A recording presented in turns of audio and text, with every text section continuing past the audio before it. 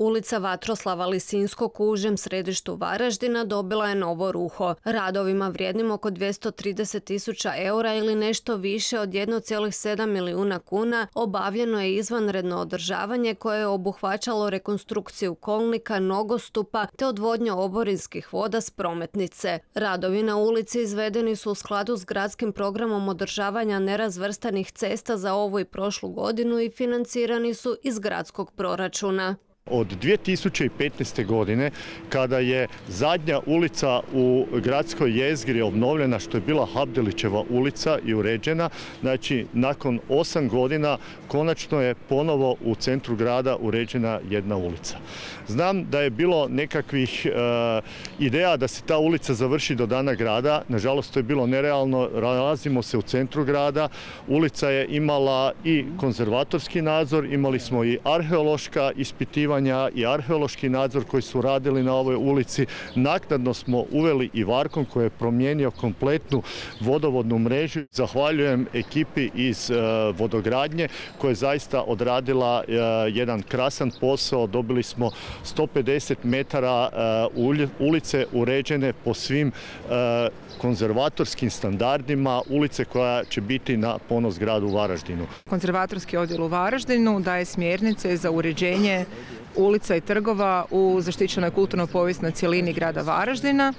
Tako e, se i ova ulica kao i ostale ulice u samom centru grada uredila na način da je e, dakle napravljeno povijesno uređenje, stavljene su granitne kocke, upravo e, granitnim kockama i ostalim kamenim dakle i kamenim pločama na koji način su uređene ulice i trgovi u gradu Varaždinu dobiva se jedna kvaliteta i vrijednost uređenja kulturno-povijesne cjeline grada Varaždina. Prethodno je Varkom izveo radove na rekonstrukciji vodovodne mreže što je financirao vlastitim sredstvima u iznosu od oko 15.000 eura.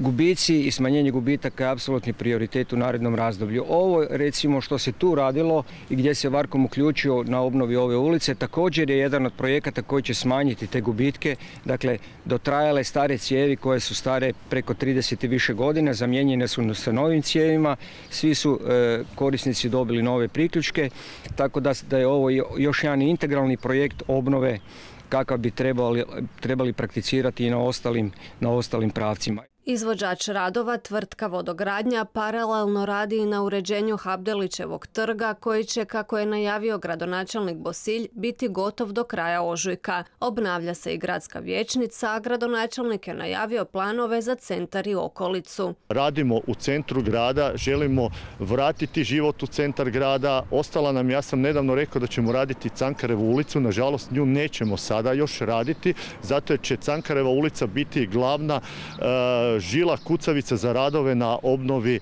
i dogradnji vame, te nema smisla da ju idemo uređivati tako dugo dok se ne završi e, obnova vame. Uskoro ćemo krenuti kad dobimo proračun sa Trenkovom ulicom, krenut ćemo sa Omladinskom ulicom u Kučanu, radi se ulica Mihajla Pupina, e, ove godine predviđena je ulica Tina Uljevića, ulica Istarska, Milke Trnine, dakle pripremili smo projekte, samo čekamo proračun. Ulica Vatroslava Lisinskog koja vodi do turističke atrakcije Stari grad danas je i puštena u promet.